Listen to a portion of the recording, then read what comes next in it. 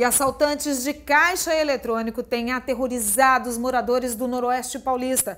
Em 24 horas, bandidos assaltaram dois caixas eletrônicos na região de Rio Preto.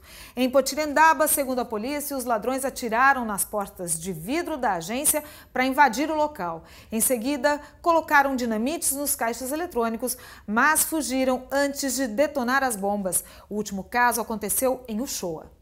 As imagens de circuito de segurança registraram a ação dos bandidos. Fortemente armados e encapuzados, os assaltantes chegaram a disparar várias vezes. A suspeita da polícia é de que existam quadrilhas especializadas que sejam aqui da região. É uma quadrilha que pode ser realmente é, com a participação de alguns indivíduos próximos aqui da, do nosso município.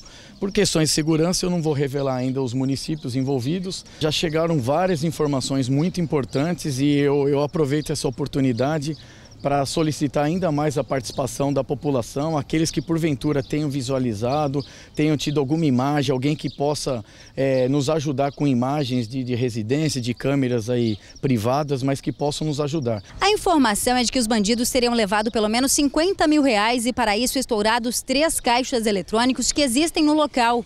A notícia de que durante a madrugada bandidos fortemente armados explodiram uma das agências bancárias da pacata cidade de Uchoa, na região de São José do Rio Preto, já não causa estranheza. Isso aí estava previsto já, né?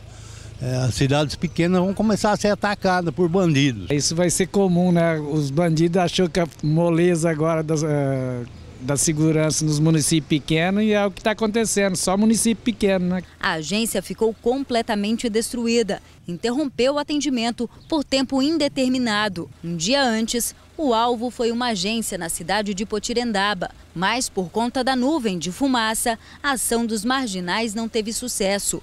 15 dias atrás, duas agências em Cedral ficaram bastante danificadas depois das explosões aos caixas eletrônicos. Esse tipo de ação envolvendo furto a caixas eletrônicos é uma demanda que não é só da Polícia Militar. A bem da verdade, é, é uma demanda de responsabilidade do banco e que muito pouco nós, nós é, visualizamos aí de ações que possam obstaculizar essas ações por parte de criminosos. Né?